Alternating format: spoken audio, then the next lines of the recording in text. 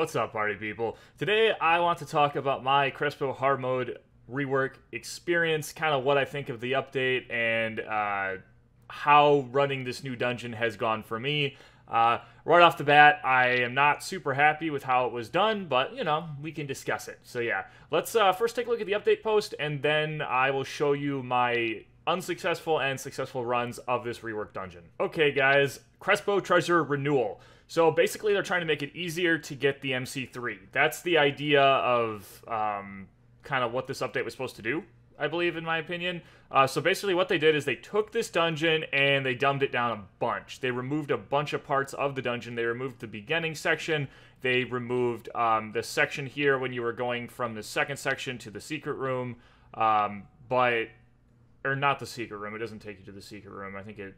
I don't know. This map confuses me. But they took out a bunch of sections of it. They they took out a bunch of sections of it, uh, and to make it easier. And they also reduced the dil. Now the dil thing was a big issue because it would get really expensive to continue running the dungeon. But as you can see now, the max cost it's ever going to cost you now is 3.5 mil, and there's more dil on the server now. So now the dil cost is not bad at all. So I am pretty happy about that. Um, in general, all the items have had their drop rates completed, or I'm sorry, uh, increased, and I can confirm this with the runs that I have finished. Um, they uh, they have definitely been they have definitely been increased. I'm seeing a lot more drops, uh, which is really nice and should hopefully make it easier for people to get the MC3. Um, in addition to that, IAD's quest is supposed to be more generous now, and it is no longer a daily quest. You can just continue to take the quest over and over again.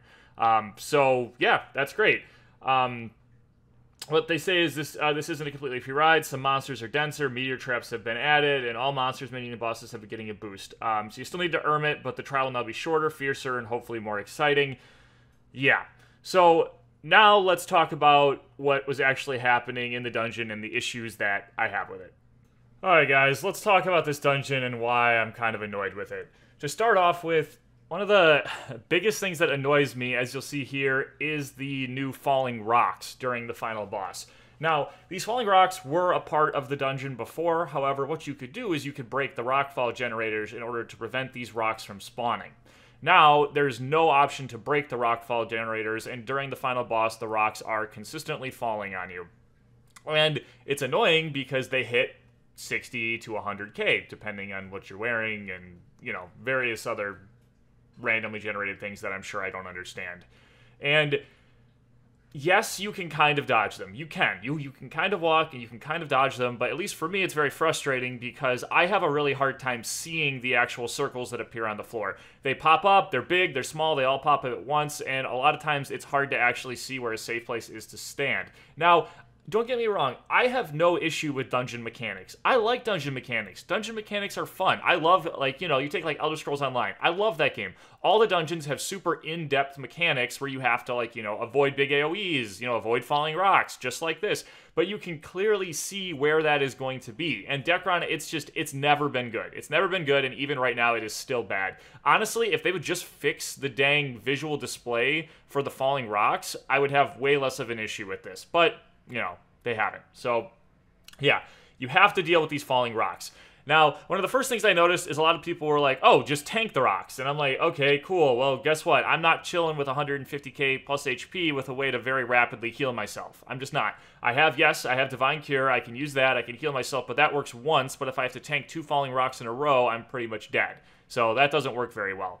Now, yes, you can just go and stand in the very top right corner of the room. And that is what I had to do in order to successfully do a uh, run where I didn't die. You would go with your party, stand in the top right of the room, and have a seg. Basically, then you can chill there. You're not going to get hit by the rocks as much since they randomly spawn. However, you still can get hit by two in a row. But if you have a seg and your HP is high enough, you can stay alive. But that's just like like that's just dumb. That that's a terrible mechanic for the dungeon. Why? You just got to stand in the top right to like avoid the rocks that are hitting you because you're just trying to, you know, randomly get hit by them less. I don't know. I just find it dumb. I just think the actual mechanics in the dungeon should be better, or they should still give us the ability to destroy the rockfall generators. Now, you're saying, okay, cool, you know, if you're like Max Gear, this is super easy. Well, yeah, no duh. I could easily go drop on my, or jump on my Black Wizard. I've got a bunch of HP, I do a bunch of damage, and it would be no problem at all. But that's not the point. The point is, this dungeon, the purpose of this dungeon is to farm the MC3, right?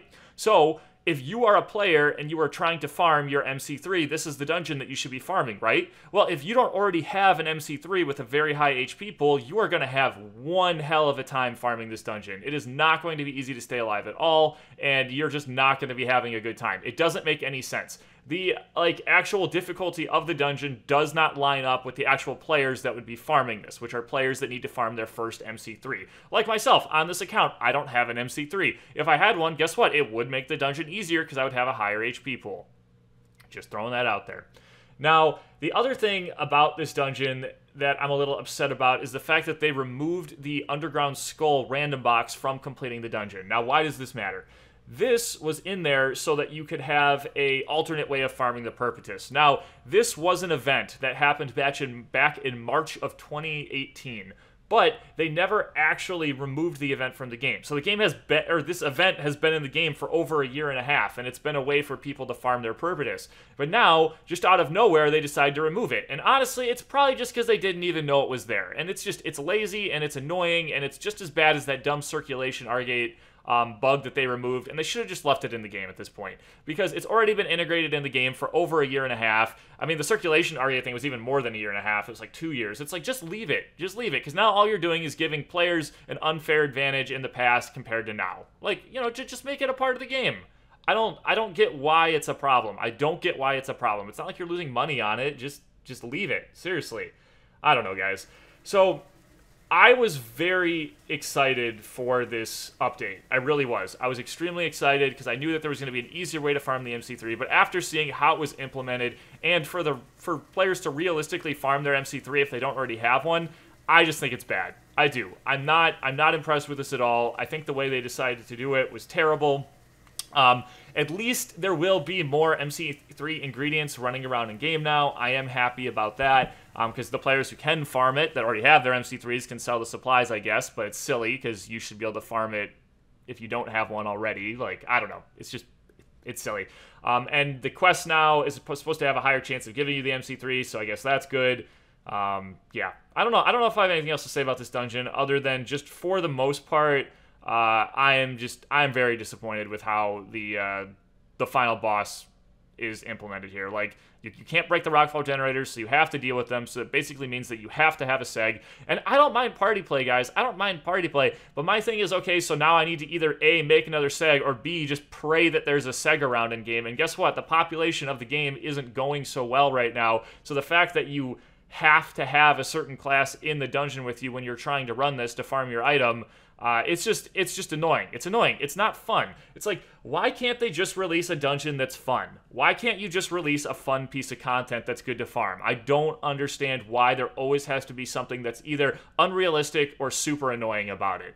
But yeah, don't worry guys, because I'm sure the MC3 random box will be back in the D shop because they don't want us to play the game anyway. They just want us to spend. Have a good one.